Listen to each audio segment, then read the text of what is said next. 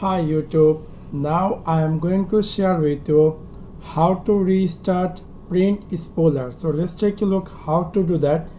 Go on start and type here admin and you will see administrative tools. Simply click over there and click on services and you will see whole services list in your computer. Simply press alphabet P and you you will see print spooler in your windows. Uh, that services in your windows. Simply right click over there and restart. And windows will automatically restart. Print spooler also if that doesn't fix your problem you can right click over there and click on stop. And again right click over there and click on start. So that's it. Thanks for watching my video. Like and subscribe